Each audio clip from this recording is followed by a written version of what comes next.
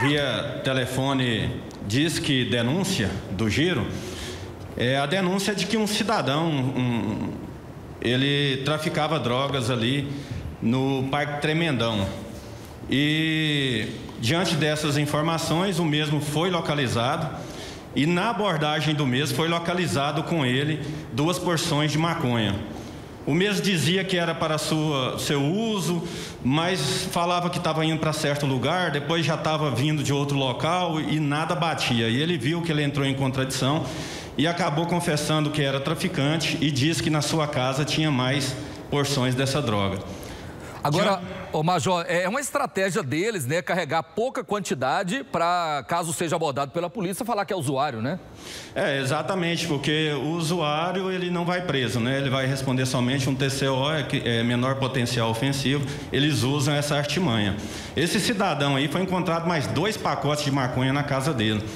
E, e, ele disse que tinha um outro local onde eles, eles guardavam mais droga, estocavam inclusive lá no Estrela d'Alva.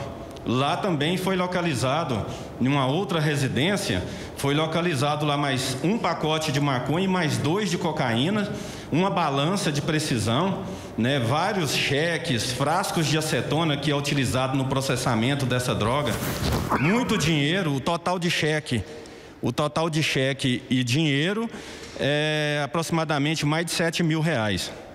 Ou seja, eles vendiam até com cheque, né? É, é, a droga com cheque. Exato. Não, esses cheques normalmente eles usam para comprar o material para processar a droga, né? E nesse local foi levantado informações de que também num outro setor, lá no balneário Meia Ponte, eles tinham um outro depósito, um outro local que eles fabricavam droga.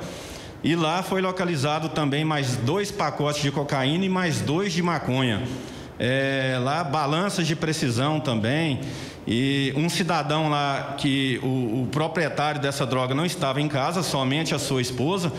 Foi feito patrulhamento na região até localizar o mesmo, conseguiu localizá-lo. Ele estava é, dirigindo um, um, um, Toyota Corolla e tentou fugir da, da equipe do giro. A equipe conseguiu alcançá-lo, fez a abordagem do mesmo e ele, juntamente com o primeiro que havia sido abordado lá no Parque Tremendão, foram apresentados juntamente com a droga na central de flagrantes de Goiânia.